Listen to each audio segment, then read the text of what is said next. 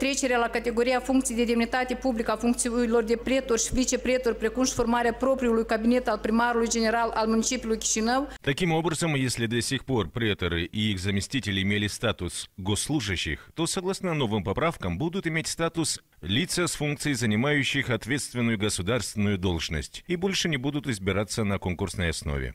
În cazul dat, pretori și vicepretori, având statut de demnitate publică, urmează să fie numiți în funcție de către primar general al municipiului Chișinău.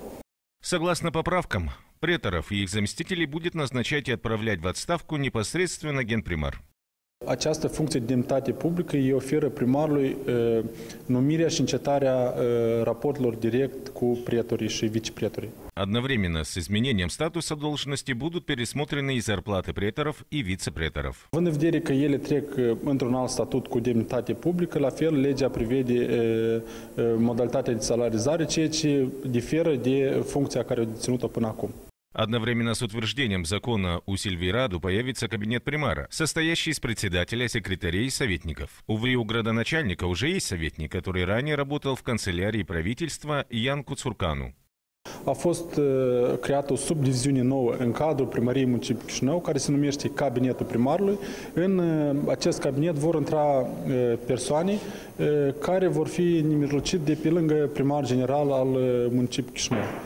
По мнению депутатов, новые изменения на самом деле метод продвижения ДПМ. Ca să favorizeze activitatea doamnei Radu, că o pregătesc pentru alegerile viitoare. Doamna Radu va lua în această structură persoane pe care le va propune să le ia. Eu cred că aici este implicat Partidul Democrat, deoarece chiar dacă ea nu recunoaște, aceasta este o candidatură care e promovată de Partidul Democrat.